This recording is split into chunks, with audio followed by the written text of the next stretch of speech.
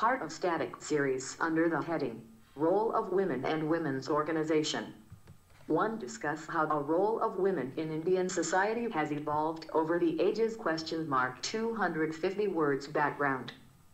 A role of Indian women has evolved over different periods of time in the following ways. Rig Vedic period. Rig Vedic women in India enjoyed high status in society and their condition was good. Even the women were provided opportunity to attain high intellectual and spiritual standard. There was no sati system or early marriage. They enjoyed freedom and even they enjoyed freedom in selecting their male partner. Widows were permitted to remarry. Women were given complete freedom in family matters. They were given education at an equal footing to men. Later Vedic period. But from enjoying free and esteemed positions in the Rig Vedic society, women started being discriminated against since the later Vedic period in education and other rights and facilities. Child marriage, widow burning, the Purdah and polygamy further worsened the women's position women in Buddhist period. The status of women improved a little during the Buddhist period though there was no tremendous change. Some of the rigidities and restrictions imposed by the caste system were relaxed. Buddha preached equality and he tried to improve the cultural, educational and religious statuses of women. During the benevolent rule of the famous Buddhist kings such as Chandragupta Maurya, Ashoka, Sri Harsha and others, women regained a part of their lost freedom and status due to the relatively broad-minded Buddhist philosophy. Women were not only confined to domestic work but also they could resort to an educational career if they so desired. In the religious field women came to occupy a distinctly superior place. Women were permitted to become sannyasis. Many women took a leading role in Buddhist monastic life.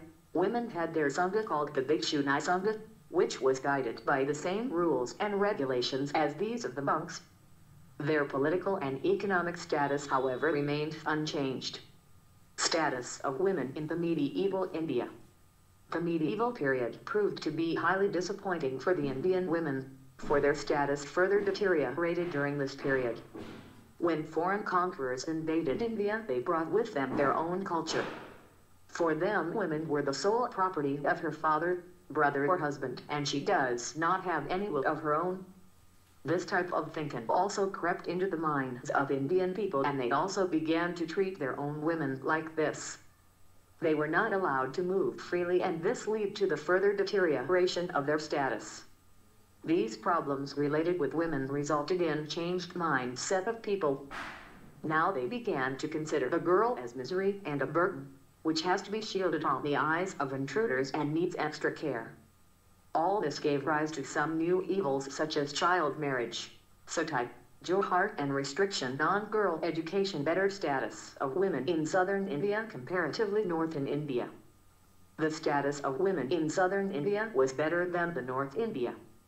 While in northern India there were not many women administrators, in southern India we can find some names that made women of that time proud. Priyakita Devi, queen of Chalukya Vikramaditya ruled three villages. Another woman named Jakkiyabbe used to rule 70 villages. In South India women had representation in each and every field. Position of woman during East India Company During the period of East India Company, many social reformers such as Raja Ram Mohan Roy, Ishwar Chandra Vidyasagar and Udayatma Phule had struggled for the improvement of status of woman in Indian society. Veer Karan Sarkar had firstly started girls' school in India in 1847 at Calcutta. Under this period Raja Ram Mohan Roy with some support from British had succeeded to abolish sati system from India. Women played significant role in freedom movement as well. Independent India.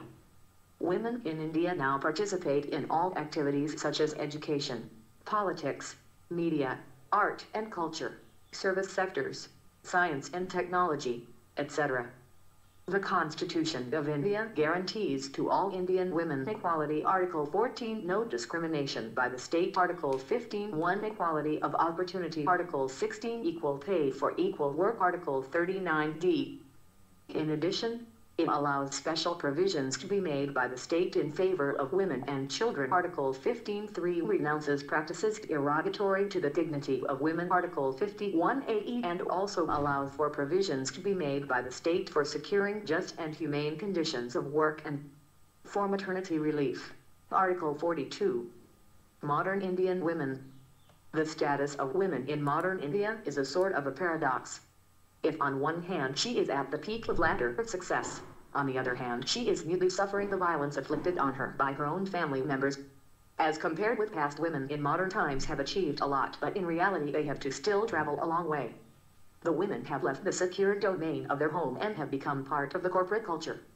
Position and status of today's woman in India is considerably changed in modern Indian society.